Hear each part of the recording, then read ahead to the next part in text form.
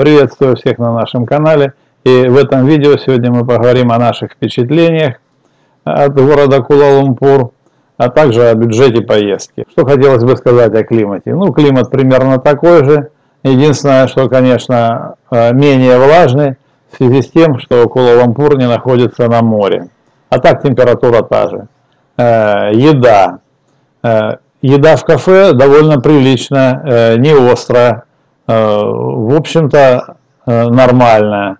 Ну, говорят, что нет свинины в Малайзии, но это все ерунда, свинина есть. Но в основном блюда из говядины, из курицы, из э, мяса ягненка.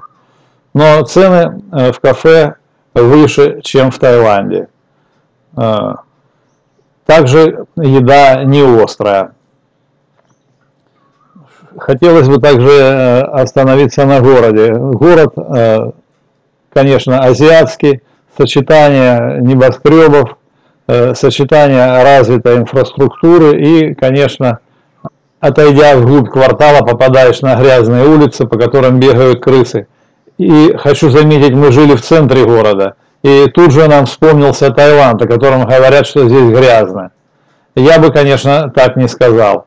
Э, Все-таки Куала-Лумпур – это столица, но э, в глубине кварталов не очень, так скажем, чисто. А, что хочется сказать о малайцах. Малайцы это не тайцы. Э, Таиланд как бы расслабляет, в нем себя мы чувствуем комфортно. Здесь на улицах уже никто не улыбается, никто с тобой не здоровается, ну кроме как, конечно, на ресепшн в отеле. Все, это другие люди, это мусульманская страна. То есть о себе скажу прямо.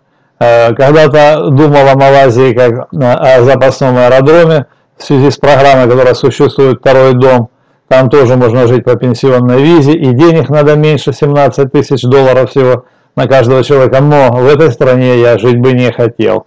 Ну, хотя хочу заметить, что э, мы не собираемся судить по одному городу о всей Малайзии, и в этом году мы не прощаемся с Малайзией, мы еще поедем в этом году в Восточную Малайзию. Э, ну, также продолжим о самом бюджете, э, сколько было потрачено денег и на что. Первое, это отель. Почему я говорил э, в одном из видео об отеле, что расскажу позже, потому что здесь э, сложная система, налоги. Например, на Букине этот отель мы видели за 3717 бат. Ну и забронировали его, все как положено и уже э, с налогами 16% он нам обходится уже 4312 бат. Но приехав э, уже в Куала-Лумпур, в отель, еще 10 э, рингит за каждую ночь, а точнее 40 рингит, еще у них налог. Итого получился отель у нас 4608 бат или, если в переводе на рубли, 9600 рублей за 4 ночи. То есть цена резко отличается. Цена получилась разница в батах за сутки на 222 бата. Опять, э, в этом отеле как бы получилось легкое недоразумение. Мы пришли в отель, спросили, э, на букине есть? Есть. Нас спросили, будете платить по карточке или наличными? Мы сказали, конечно, наличными и заплатили. Но так как это было 15 число, а на следующий день наступило 16, мы ждали пенсию. И я решил посмотреть э, на карточку, упала пенсия или нет. Пенсия-то, ладно, не упала, да? Но смотрю, что с карточки э, списали 143 доллара. Ну, и видно, что идет минус, и Меланж снял эти деньги. Мы сразу пошли на ресепшн, говорим, в чем дело, почему с карточки сняли деньги. То есть получилось, что у нас двойная оплата. Мы оплатили наличными и оплатили с карточки. Товарищ сказал, что да, да, ой, ой, ой, ой, произошло недоразумение, завтра мы вам деньги вернем. Завтра деньги нам никто ничего не вернул, и уже уезжая, мы сказали, что будем жаловаться на Букинг, так это дело не оставим. Букинга они боятся. Э, потом, уже когда мы находились в Паттайе, минус на карточке пропадает, появляется, что сумма 143 доллара заблокировано. Ну и 22 э, января деньги вернули. А 12 списали, то есть у нас никогда такого не было. 12 января у нас был срок, последний день отмены. И всегда мы так делали, и никто у нас деньги не списывал. А тут раз и деньги исчезли. Вот такая картина с Малайзией, то есть смотрите, проверяйте счет перед тем, как заселяться в отель. И товарищ ничего нам не сказал, что деньги э, с карточки сняли.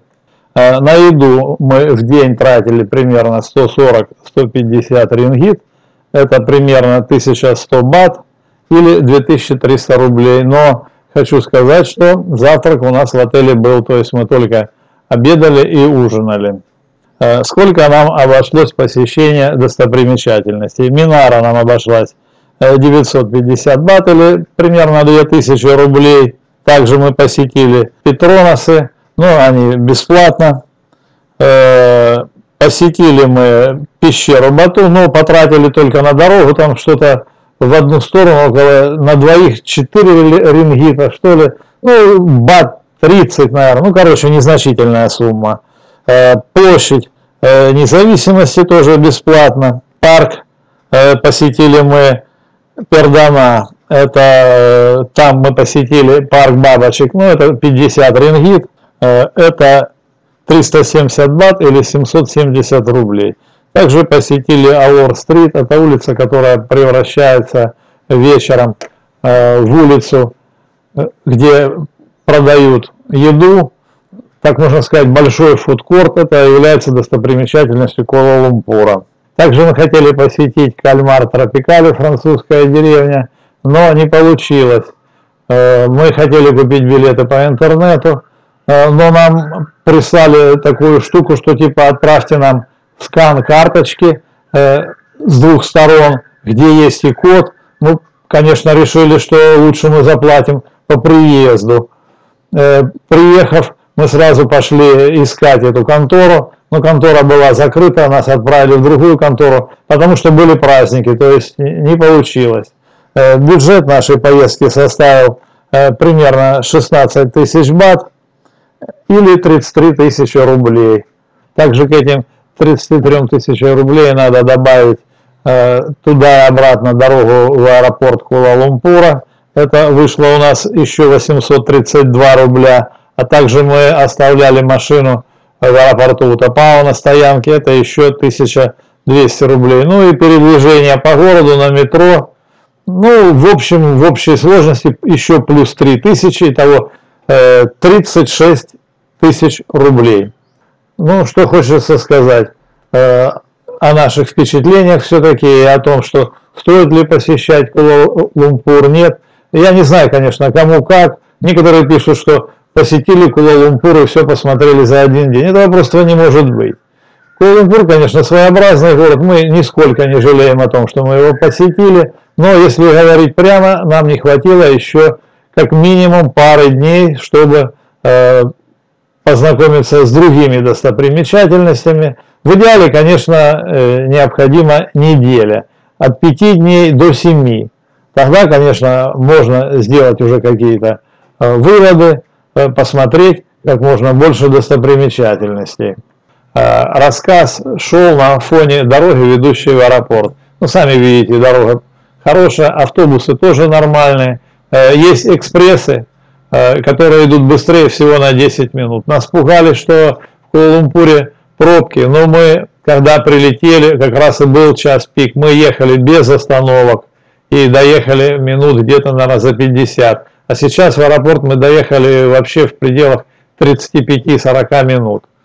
Э, и цена, конечно, экспресса будет два раза дороже, но я не вижу смысла из-за 10 минут э, платить два раза дороже. Ну, в общем-то, все, что хотелось нам сказать о Куала-Лумпуре и рассказать о своих впечатлениях. Э, кому интересно, следите дальше за нашими поездками.